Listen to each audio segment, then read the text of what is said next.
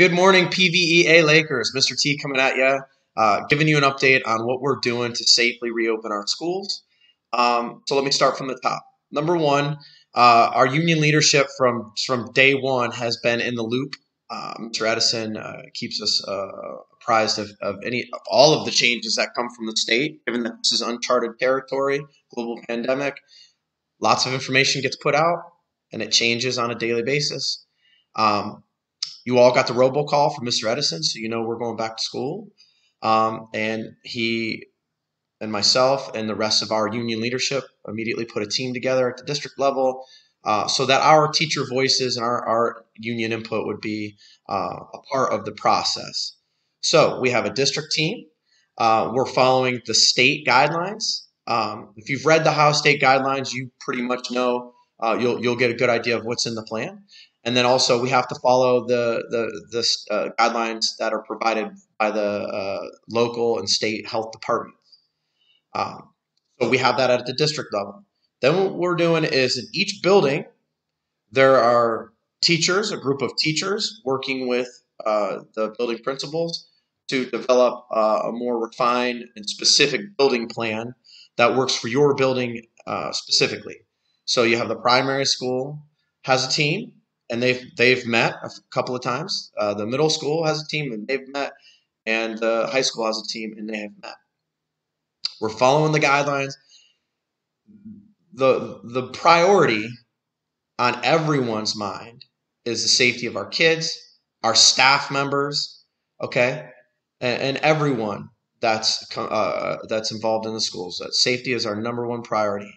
So, um, again, we're following the Ohio guidelines, health department guidelines. Now, here's why I can't get on here and, and, and start uh, spouting off uh, the specifics of the plan. And I hope you guys understand this. Um, and that's coming soon. That's coming soon. State and local health departments have to approve our final plan. Um, so it wouldn't be wise and it would not be prudent to start putting out the entirety of our plan uh, to you guys and the public because if it changes, now it's convoluted and it's confusing to everyone involved, especially our parents and uh, and our staff members. Once the plan has been approved by the board and by the more importantly the state and the local health departments, um, we will go over the specifics of the plan. Obviously, there there's a uh, a union leader on each one of the building um, teams. Uh, we will all be available to answer questions and to address any of your concerns about the plan. Um, you know, it, it, something could be missed or something could be overlooked.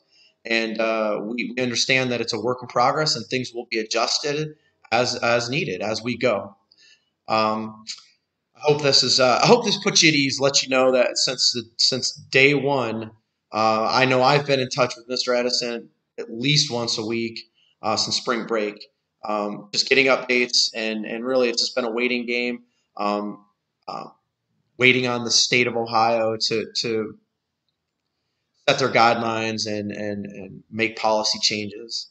Uh, so if we've learned anything from that process, I can tell you that um, it, it, it's wise to be prudent to get approval, then put out the information to the folks so that you're not changing it twice in one day and confusing everyone. So that's what we're doing. People uh, on both sides of, of, of the issue, uh, uh, our union, our teachers, and our administrators are working together to come up with a plan to safely, safely reopen our schools. So uh, have a great day. What is it? Tuesday. Have a great Tuesday.